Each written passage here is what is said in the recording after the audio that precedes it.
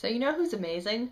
Eric Overmyer. Eric Overmyer is amazing. You've heard me mention him before, so today I decided I'd just go ahead and read one of his plays because I love him with all of my heart his plays, not him necessarily. I mean, I'm sure he's a nice guy, but that sounded stalkerish, and that's not how I meant it. I have this. This isn't all of his plays, it's three of them, one of which I've already read, and one of which I have read like 95% of, and then I was in New York, so I kind of got distracted by New York. I read the one that I hadn't read any of, and.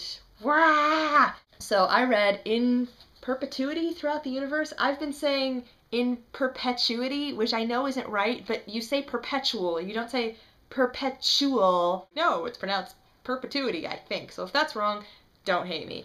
In Perpetuity Throughout the Universe by Eric Overmyer. This is arbitrary, just like everything else on this vlog, but I love this guy, and even though it's really surreal stuff, I love it. And here's why. Remember I was talking about the poetics yesterday? Well, Eric Overmyer, I think, has one of those poetics that he loves with all of his heart and frequently makes the main character in his show, and that element is language.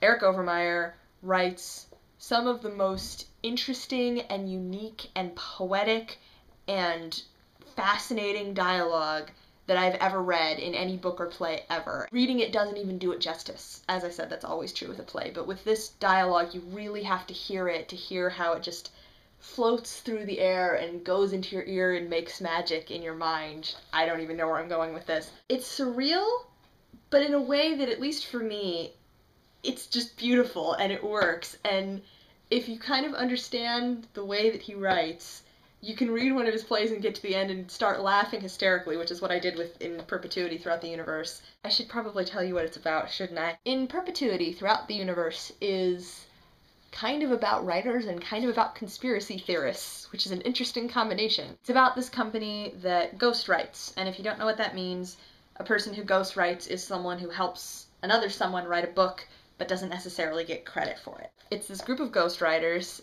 and writers, not writers like they're not in the sky or anything, so don't go all songy on me. No, ghost writers and their job basically is to ghostwrite for conspiracy theorists.